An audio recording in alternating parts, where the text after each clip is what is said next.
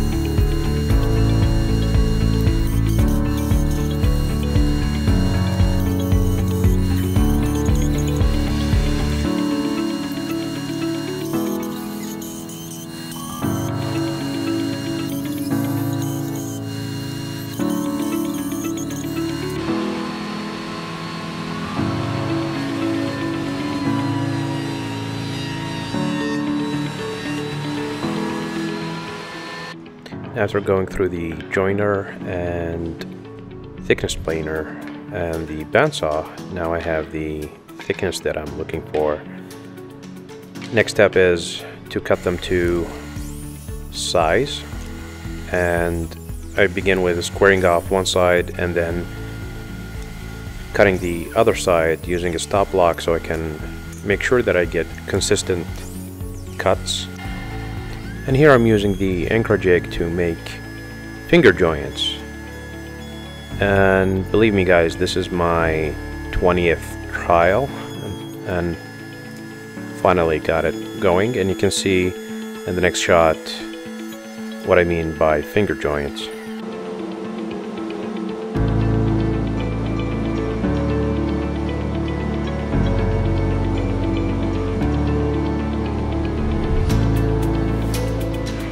And a couple of passes on the table saw to create the groove that takes the bottom and the top of the box.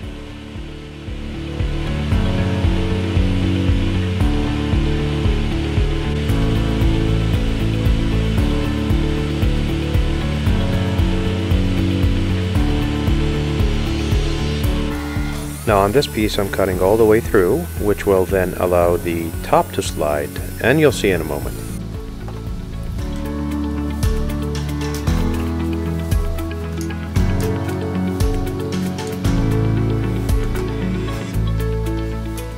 I'm using a piece of 6mm plywood against the grooves at the top of the box to mark and then I can rip the lid and bottom of the box to size.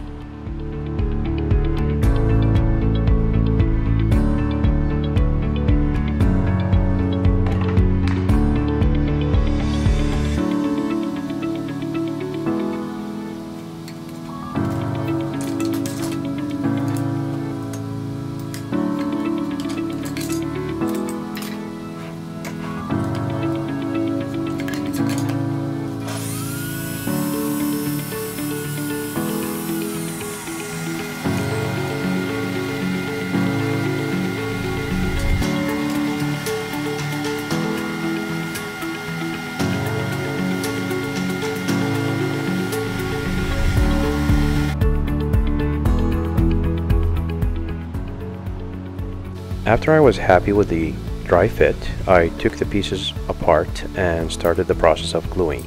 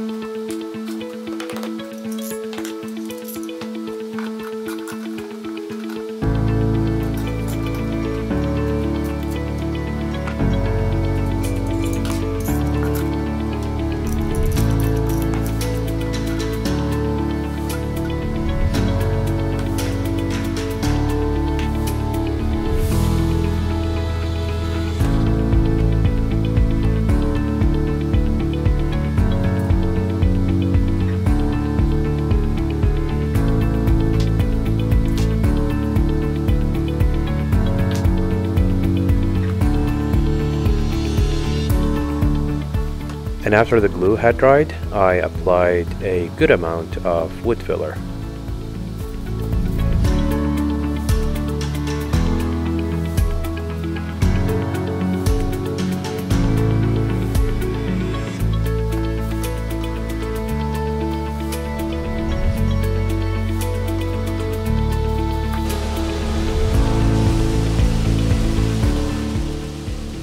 And after everything is dry and sanded and looks good I apply a wood conditioner which will make the wood basically absorb the stain evenly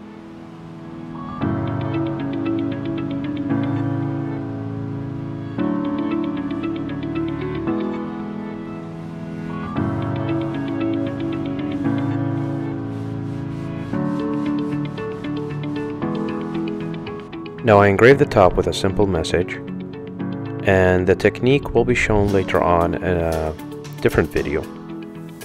But I do need this engraving to show and what I do is use steel wool and some of the stain that I used and fortunately for me it was right in front of me spilled from my good painting job. And what I do is basically rub and drop on the engraving with the stain that I used and then I use uh, spray paint and uh, preferably the um, black colored spray paint that doesn't dry out quickly uh, so that I can rub it. Now interesting enough uh, you can see that there was a halo that created that was created around the message which I liked and kept and now I'm doing the final fitting. I'm happy with it happy with the color and how it looks. And then uh, I applied a lacquer sealer to lock in the stain